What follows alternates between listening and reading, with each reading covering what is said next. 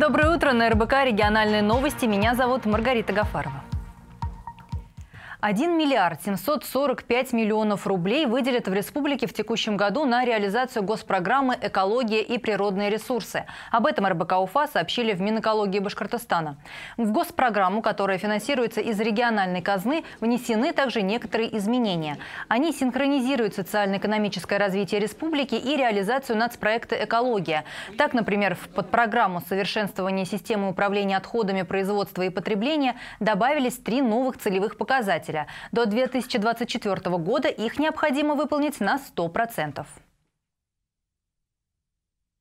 На территории республики до 2024 года будет ликвидировано более 2,5 тысяч свалок, установлено более 25 тысяч контейнеров для раздельного сбора отходов, построено 7 автоматизированных станций контроля загрязнения атмосферного воздуха в Сибае, Учулах, Стерлитамаке, Нефтекамске, Уфе и плюс 2 в Салавате. Общий объем финансирования госпрограммы на период с 2014 по 2030 годы составит более 35 миллиардов 700 миллионов рублей. Из них 13 миллиардов средства республиканской казны, почти 3 миллиарда выделят из федерального бюджета, еще 231 миллион из местных бюджетов и 19,5 миллиардов внебюджетные источники. В Башкортостане больше студентов сможет учиться за счет государства. Как рассказал первый заместитель министра образования Республики Ильдар Мавлидбердин, уже сейчас в высших учебных заведениях региона на 1073 бюджетных места больше, чем в прошлом году. Например, БГУ по программам бакалавриата и специалитета примет 2208 человек на бюджетные места. Это на 500 мест больше, чем годом ранее.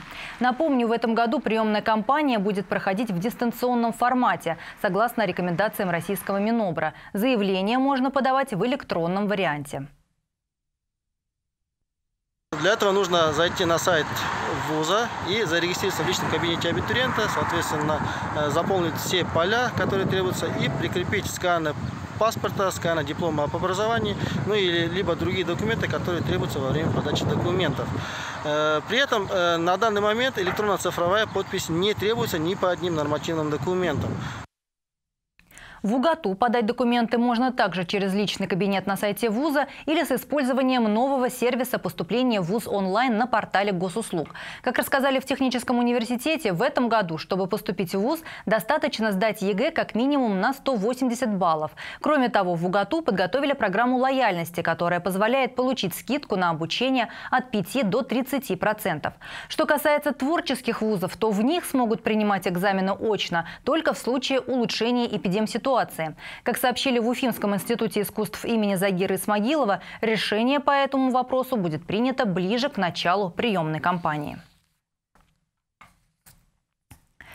Жители Башкортостана смогут высказать свое мнение по поводу дневного тихого часа. Речь идет о законопроекте, который запрещает с 13 до 15.00 проводить шумные ремонтные работы в жилых многоэтажках. Инициатива прошла первое чтение в Госсобрании и теперь вынесена на общественное обсуждение.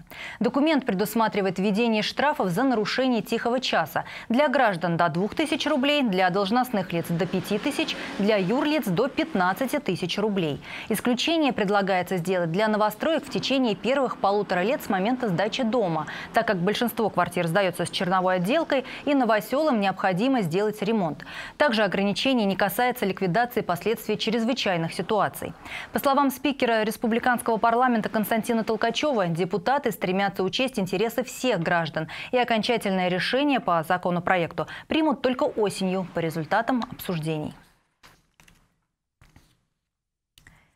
Башкирские предприниматели могут принять участие в новом формате переговоров «Час торгпредом». Проект запускают Республиканский госкомитет по внешнеэкономическим связям и Республиканский центр поддержки экспорта совместно с торговыми представительствами России за рубежом.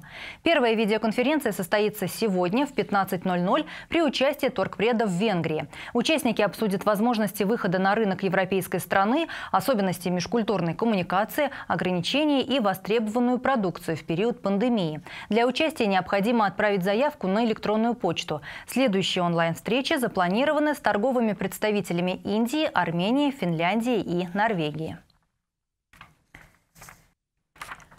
И в завершении выпуска информация о курсах валют, установленных Центробанком на сегодня. Доллары и евро дешевеют. Американец потерял в цене 64 копейки и курс составил 68 рублей 34 копейки. Евро подешевел на 15 копеек, курс 76,62.